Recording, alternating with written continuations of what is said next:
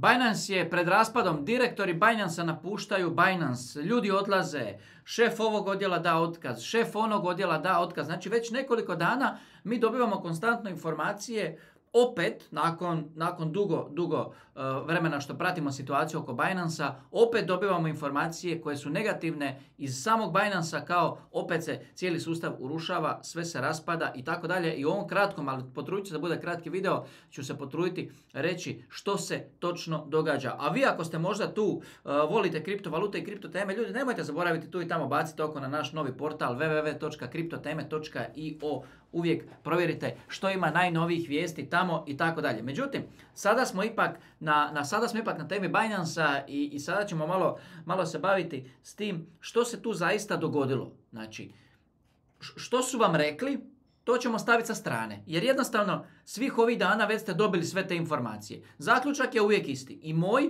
i od mojih kolega i od novinara i od svih kojima je imalo stalo do kripto svijeta, oni će vam reći uvijek istu stvar što ću vam ja ponoviti jednostavno. Šta vas boli briga ako Binance propadne?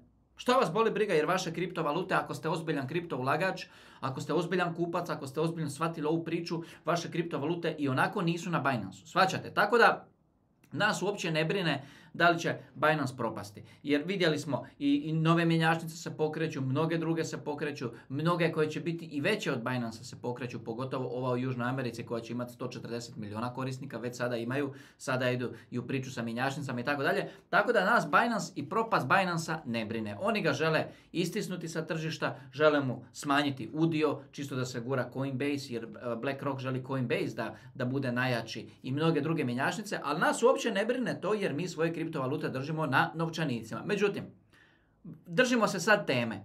Držimo se teme, novi napad na Binance i glavni ljudi napuštaju Binance. To je tema ovog videa. By the way, večeras u 9 smo u videu za članove. Ako ste član kanala, vidimo se u 9, imamo live stream. Međutim, napuštaju Binance. Ja gledam jedna vijest, druga vijest, treća vijest, četvrta vijest, peta vijest, deseta, dvadeseta.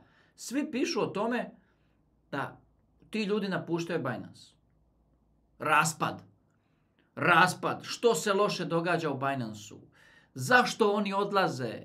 Koji je razlog? Ali svi oni znaju razlog, ali neće vam kažu razlog. Znači, razlog je jasan jedan kroz jedan. Čovjek, evo, primjer, čovjek napušta Binance prije dva, tri dana, odlazi iz Binance-a, drama. I čovjek napiše ovoliku objavu u kojoj kaže ljudima, ljudi, nakon nekoliko godina rada na Binance-u, vrijeme je da se maknem zbog mog privatnog života. Moja supruga, Pitanje je sata kad će rodit. Vrijeme je da budem u svoju ženu, u svoju obitelj. Vrijeme je da se posvetim obitelji i važnijim stvarima. Pitanje je sata kad će rodit. Ja nemam ništa protiv Binance-a. Binance je i dalje moja kuća, Binance je i dalje moja obitelj, međutim, postoje i važnije stvari i od Binance i od kripta i od svega, a to je moja obitelj moja supruga koja će roditi svaki tren. Hvala lijepo Ciziju, ima moju veliku podršku, ali vrijeme je za neke druge stvari u životu. To je jedina istina.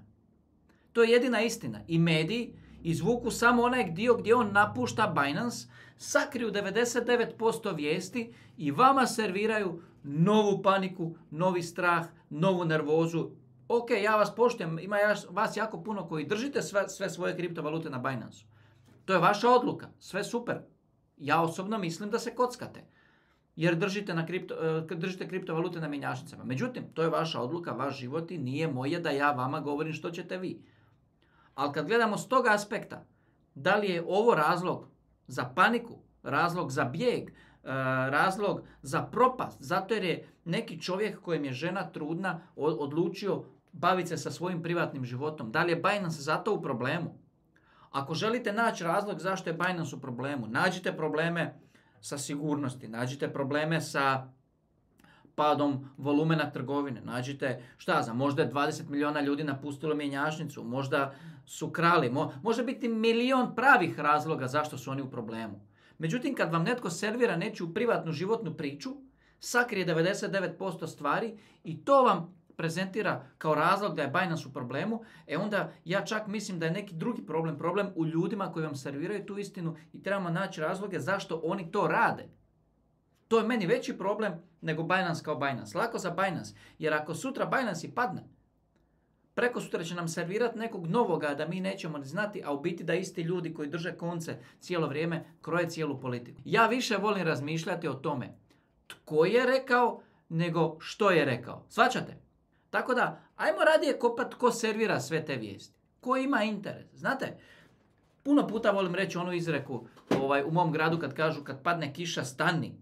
Nije vremenska prognoza. Neko je poslao kišu.